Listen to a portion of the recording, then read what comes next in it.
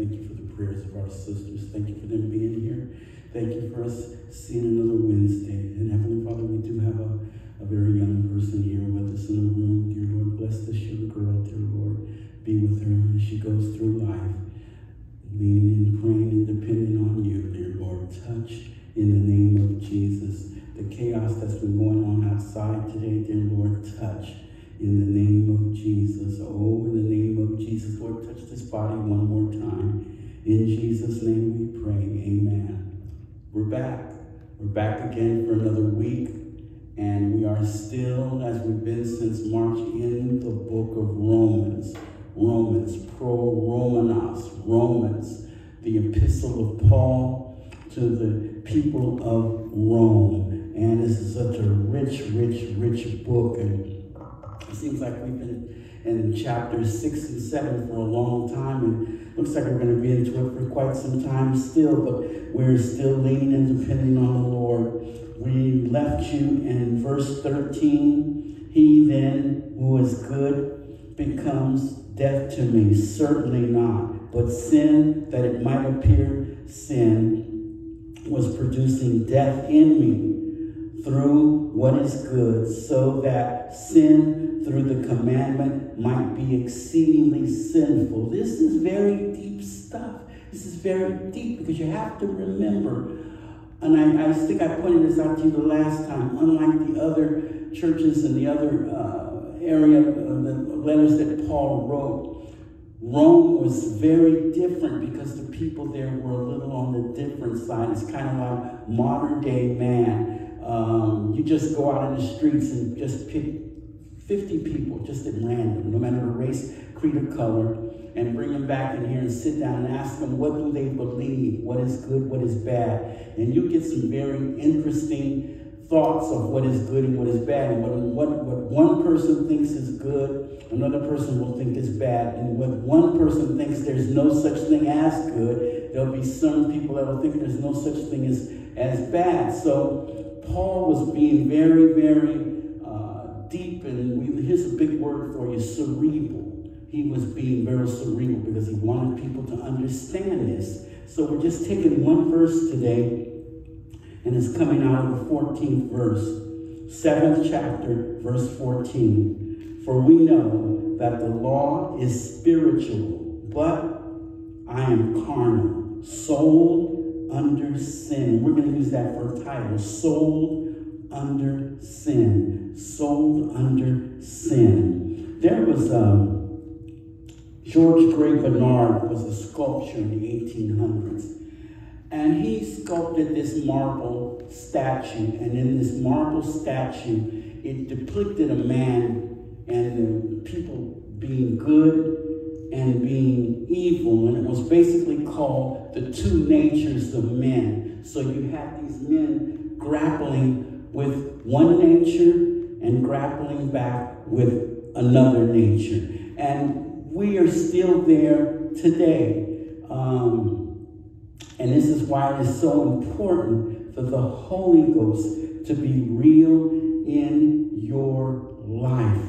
I had some of my two of my cousins were here last Sunday, and after church, we had a conversation here before they went back to the Bay Area. We got into this deep conversation. I loved it about good and evil and things of that nature. Because in church, church today, we don't want to deal with that anymore. We just want to know that we can get to a next level and get to the next financial boon and this, that, and the other.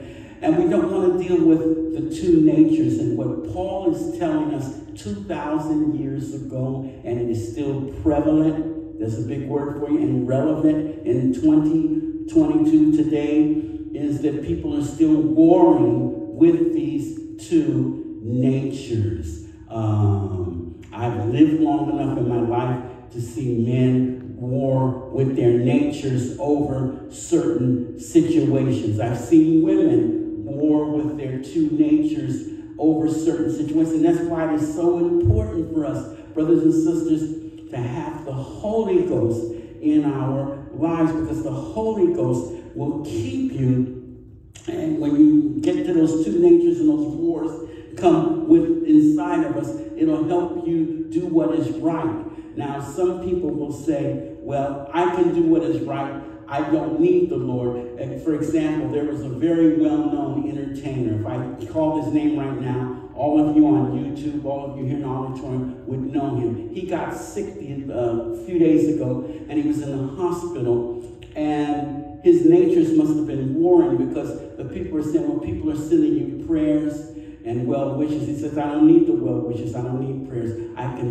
This thing myself. That made me shudder to think about this man because I don't know if this man is a Christian or not. Who knows what his beliefs are, but it was an example of his nature. One, I don't need this. I can stand on my own too. You have a lot of people with this type of attitudes, no, you need the power of the Holy Ghost in your life. It is, it is important. It is dire. Uh, a lot of the consequences and things that we deal with in our life is because we do not allow the Holy Ghost to take total control over who and what we are. These, these natures are, are, are warring constantly in our lives. I, I knew a man many years ago nicest guy. He would give you the very shirt off of his back but but but sometimes you could say certain things to him and rub him the exactly the wrong way, and man, you would just about have to have a, a whole militia or army behind you because he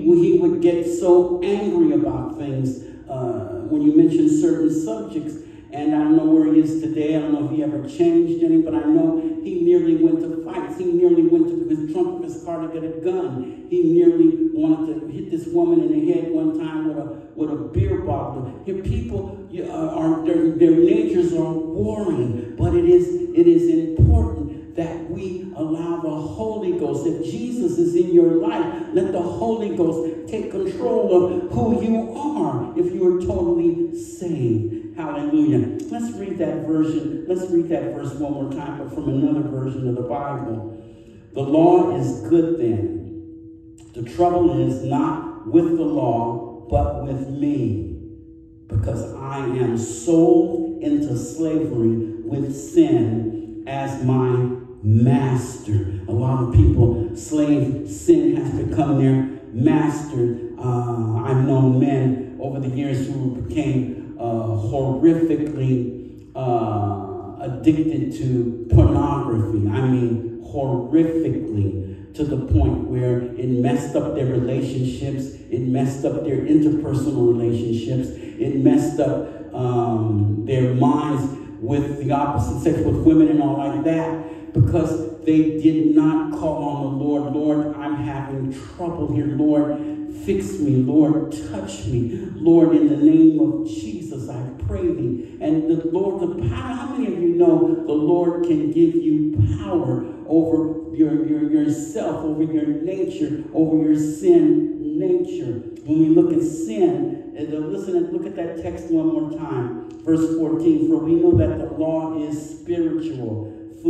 Fumenakios, fumenakios, spiritual. A lot of times we'll say, well, I can deal with something and I have control over it. Well, how do you, you don't know this, but a lot of things in your life um, are spiritual. And you have to be careful of them because it's a spiritual. Here's something that I didn't learn for many, many years. Uh, preacher back in Buffalo and I had a conversation one time in a class, and it became very clear to me when he told me this.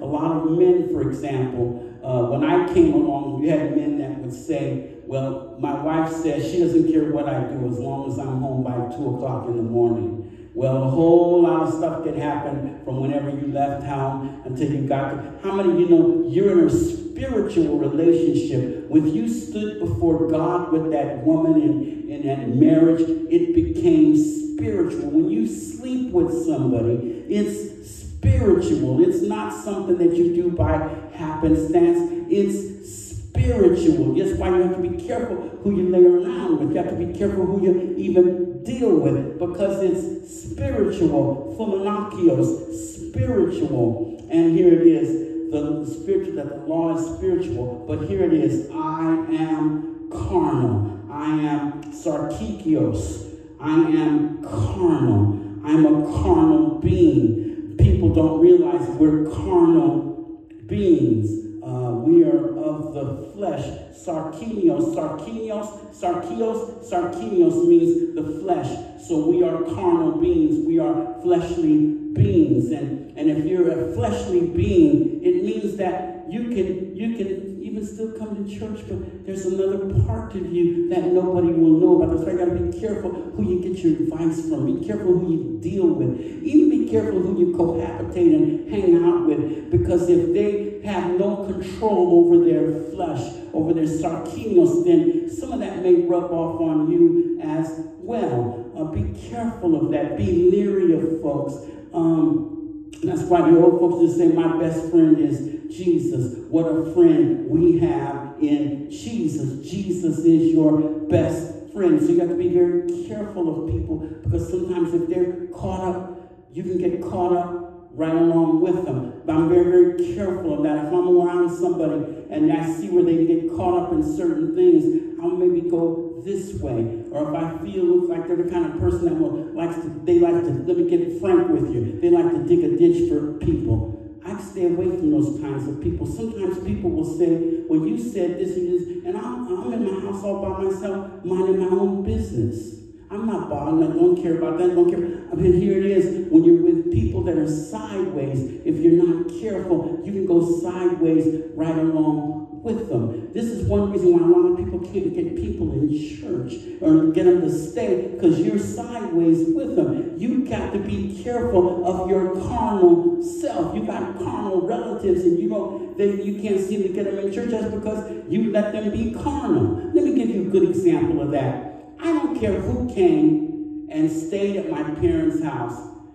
If you stayed at my parents' house, it didn't, it didn't matter if you were the biggest drunk in town, you were not going to drink no liquor in my parents' house. That, that wasn't going to happen. If you came to their house on a Sunday, Saturday night and woke up, you woke up in Tillman Wade Senior's house on a Sunday morning, you were going to church that morning. There were no if, there were no hands, there were no butts, There were no drugs allowed in that house. There was no dr- drinking. There was no carousing. There was no craziness because my father, he believed in this Bible, the whole Bible, from Genesis to the book of uh, Revelation in the New Testament. What we've got to do is stand by the Word of God. That's why we have such a power problem with our nature. That's why when we deal with the sarkinos, our carnal self, our fleshly self, is that we do not want to stand with Christ. Hallelujah. Sold under sin. Parikasa. Parikasa. Sold under sin. Sold under the power of that evil nature.